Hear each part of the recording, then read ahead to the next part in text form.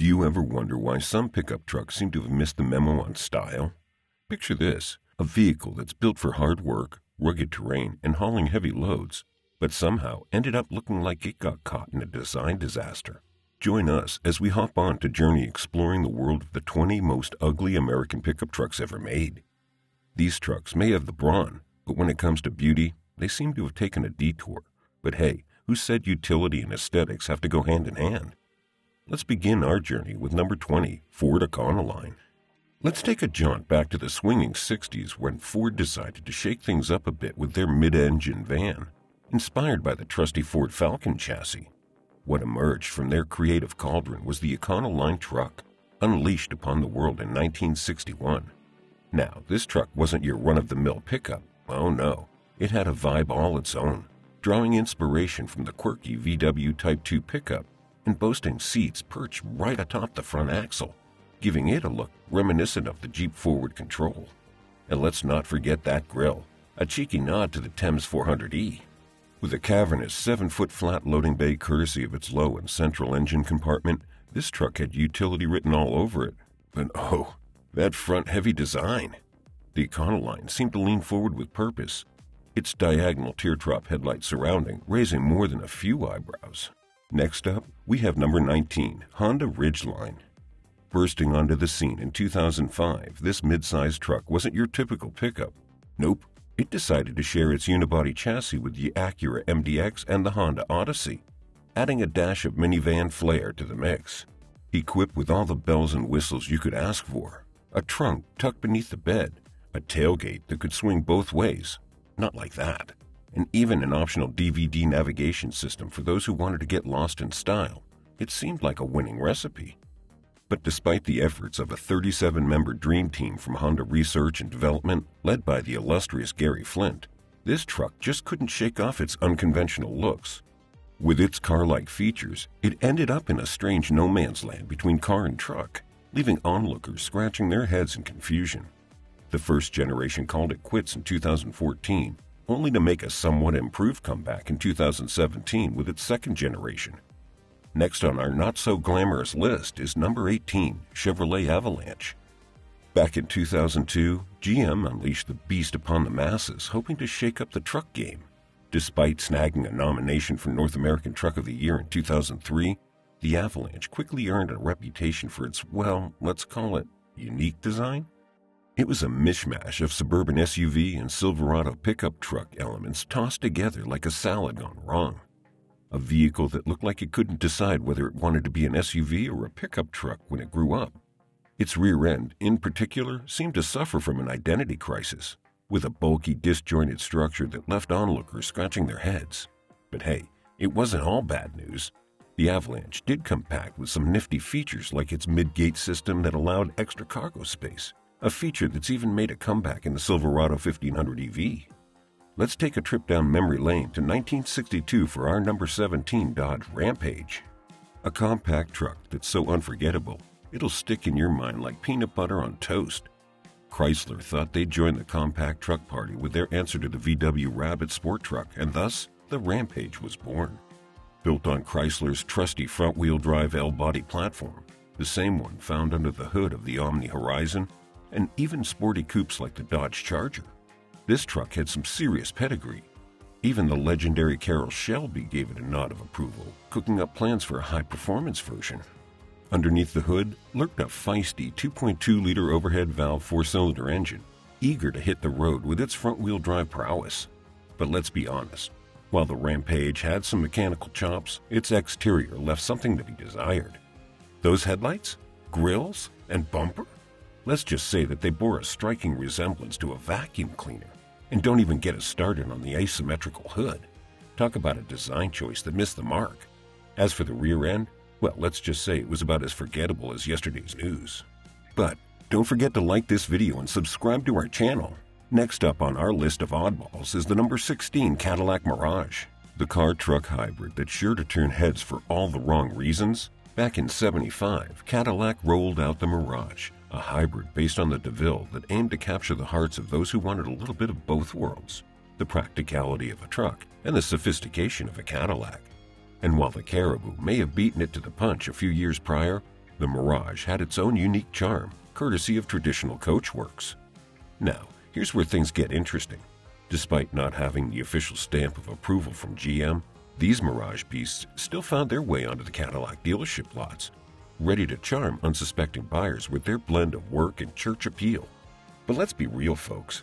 If you wanted to roll in style with a Mirage, you had to be willing to break the bank, as it would set you back almost twice the price of a regular Coupe de Ville.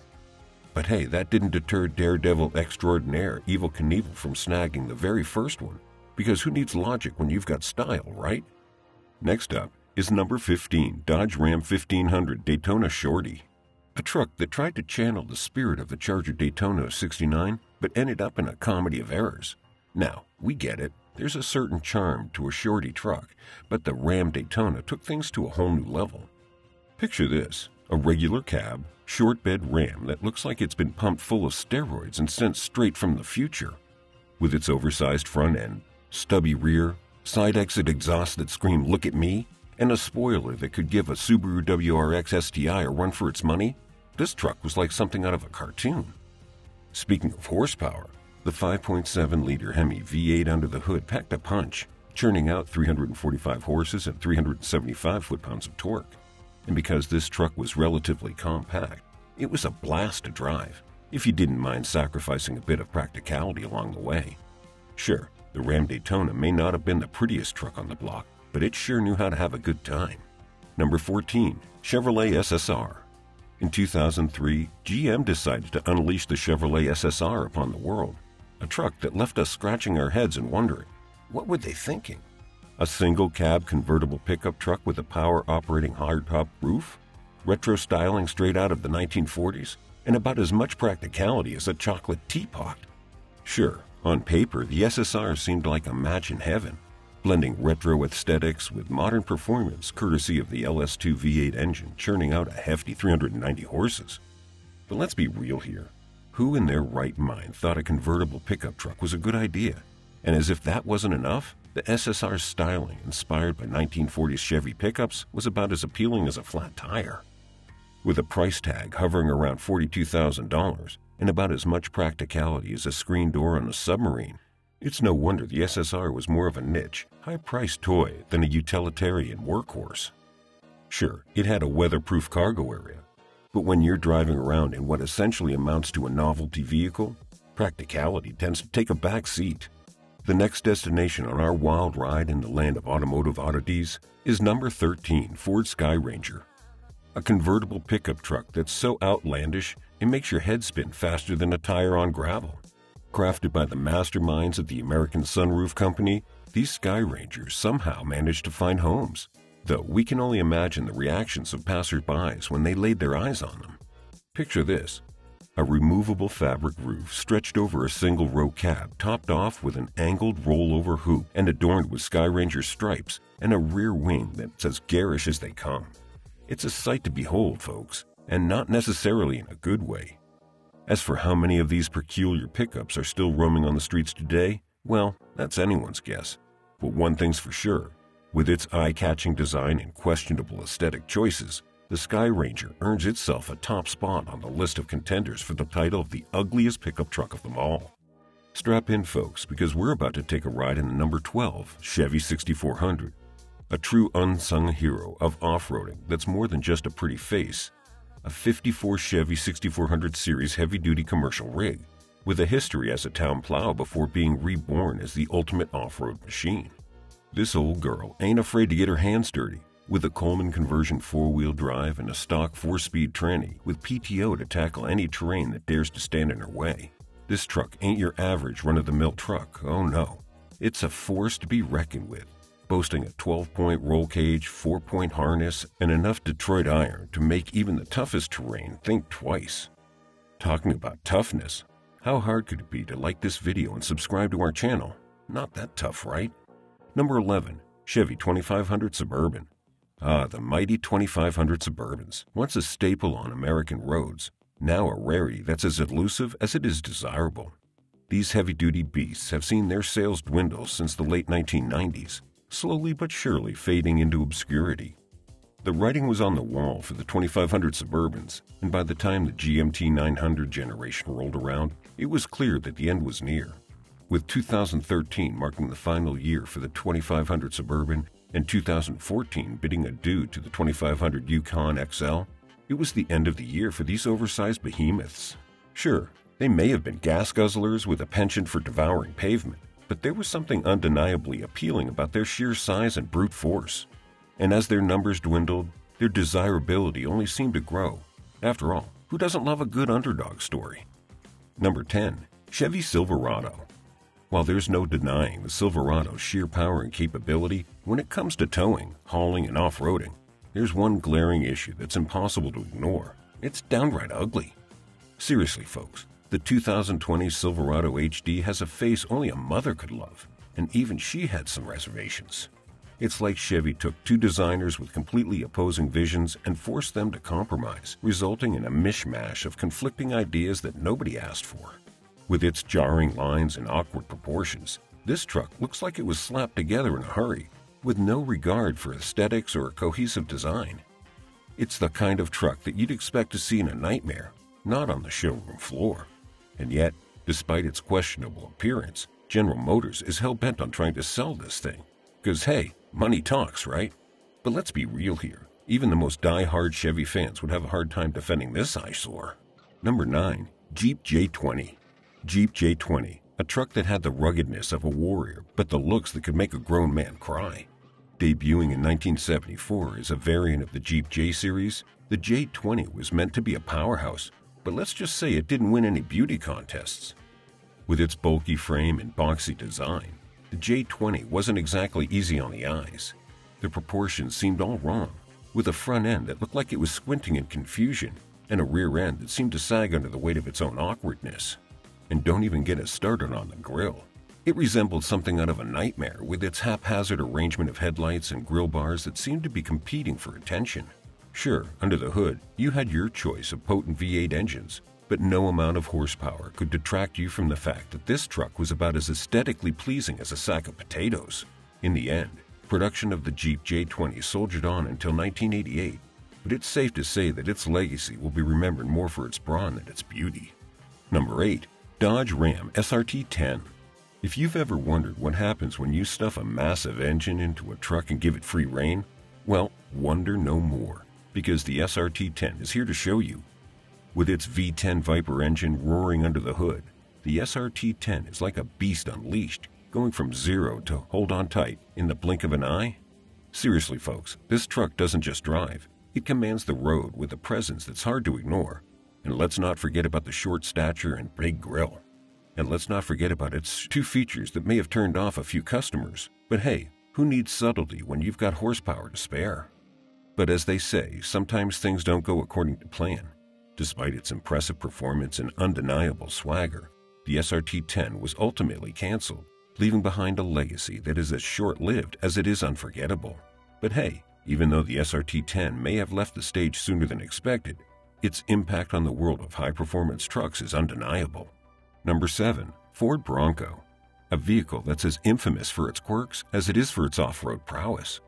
Produced for a staggering 30 years from 1966 to 1996, the Bronco has somehow managed to grow in popularity despite its, shall we say, less than attractive design.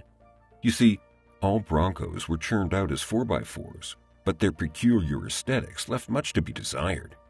With tall front fenders and rear wheel openings that resembled something out of a funhouse mirror, there wasn't a whole lot of room for tires taller than 30 inches. And let's not even get started on the awkward proportions and boxy frame that made it look like it was designed by the committee. Sure, you could try to jazz it up with larger tires and wider wheels, but that usually meant resorting to the easiest modification in the book trimming the rear openings. And while the aftermarket may offer uncut rear quarter panels now, there's a certain charm in finding an original Bronco that remains uncut. After all, they say they are only original once, but in the case of the Bronco, that might be a blessing in disguise. Number 6. GMC 1000 Series. Let's take a trip back in time to an era of the dinosaurs. Well, not quite, but close enough. Feast your eyes on the 1961 GMC 1000 Series, a truck that's been around for what feels like an eternity with a design that, well, let's just say it's not winning any beauty contests. With its flat roof, low riding body, disproportionately smaller wheels, boxy frame, and that grille that looks like it belongs on an old man's irritated, puckered brow, the 1961 GMC 1000 series may not be winning any awards for its looks, but hey, who needs flashy when you got character, right? Sure, the truck may not have all the bells and whistles of modern trucks, but what it lacks in amenities, it more than makes up for in personality. Whether you're cruising down the highway or tackling tough terrain, the 1961 GMC 1000 series is sure to turn heads, if only because people can't quite believe what they're seeing. But believe it or not, your like and subscribe means a lot to us, so hit that thumbs up and subscribe to our channel. Number 5. Rinspeed. Tattoo.com. A pickup truck with a web address for a name? Because why not? Crafted by the Swiss wizards at Rinspeed for the Geneva Motor Show, this concept was a true testament to the wacky wonders of the new millennium. Now, you may be wondering about that name, Tattoo.com. Well, hold on to your hats because it's about to get even crazier. Rumor has it that the name was a cheeky nod to the erotic appeal of the human body, with the three O's paying homage to the three zeros in the year 2000. Talk about thinking outside the box, right? But the madness doesn't stop there. Oh no. The tattoo was dubbed a multi utility vehicle, MUV, and boy, did it live up to the title. With a design that's part retro, part space age, and all kinds of Art Deco, this truck was a mishmash of styles that somehow worked. If you were into that sort of thing, that is. But perhaps the piece de resistance on this wild ride was the breathing observation bubble nestled in the bed, affectionately known as Bob. Because what's a pickup truck without a bubble in the back, right? And believe it or not, this masterpiece was fully street legal. Like we said, wild. So if you ever find yourself longing for the glory days of the early 2000s, just remember the Rinspeed tattoo, a true icon of its time. Number 4. GMC TopKick, a beast of a truck that's as beefy as it is well, let's just say it's an acquired taste.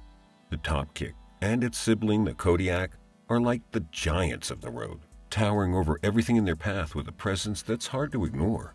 But don't let their beefy exterior fool you, because when it comes to comfort, well, let's just say that they've got some quirks. Now, if you're brave enough to climb into the TopKick's so high cabin, you'll be greeted with steps to help you make the ascent. But once you're up there, be prepared for a ride that's anything but smooth sailing. Rumor has it that this monster truck shakes its occupants mercilessly when unloaded, leaving you feeling like you're riding a bucking bronco instead of a truck. And let's not forget about the backseat compartment, a space that's so upright you'll feel like you're sitting in a rocket ship ready for takeoff. Stability? Well, let's just say it's not exactly the TopKick strong suit. But hey, beauty is in the eyes of the beholder, right? And some may turn up their noses at the sight of a TopKick. Others will be willing to brave the ride for the sheer thrill of it all. Number 3. Chevrolet K10 Snow Chaser. A special edition produced by General Motors, the Snow Chaser is like the unicorn of pickup trucks, highly sought after, incredibly rare, and according to some, not the most easy on the eyes. Now, before you start scratching your heads in confusion, let's get one thing straight. The Snow Chaser may not be everyone's cup of tea, but it's certainly got its own unique charm. With its classic stylish front end, you might be forgiven for thinking this truck is just like any other Chevy K10. That is, until you cast your eyes on the rear bed. Yep, you heard that right. Mounted rear bed that's, well, let's just say it's an acquired taste. These trucks are believed to be some of the lowest produced in numbers, and rumor has it they were only marketed in snowy states. Talk about exclusive. Next up in the world of automotive oddities is number 2, Ford Explorer SUV concept. A vehicle that's, well, let's just say it's not your average pickup truck. Picture this a hybrid mix between a submarine and a squashed pickup truck, with design elements that are sure to turn heads wherever it goes. With its unique silhouette and unconventional features, the Explorer SUV concept is like something out of a sci fi movie. And let's not forget about the sunshade feature that attached to the bed, because who needs a regular old truck bed when you can have a built in sunshade, right? Number 1. Chevrolet COE. A truck that's as bold as it is, well, let's just say it's got a face only a mother could love. Meet the Chevrolet COE, a truck that's gained quite the notoriety for its, shall we say, unique appearance. With its cab over engine layout, it's like the designer said, who needs legroom anyway? Let's just stick the driver right on top of the engine. But hey, who needs comfort when you've got a moving fortress at your command, right? Now, you might think that the designers were aiming for a sleek and compact look with the COE, but let's just say they missed the mark. Instead of making the proportions small and manageable, they ended up cramming the truck's nose to the point where it looked like it was ready to take on the world, whether the world was ready or not. From awkward proportions to questionable design choices, the 20 trucks listed here have certainly earned their place in automotive history as some of the ugliest trucks ever made. However, beauty is subjective, and what one person may see as unattractive, another may find charming or endearing. So did this video make you appreciate the quirks or cringe at their design flaws? Share in the comments, like this video, and subscribe to our channel.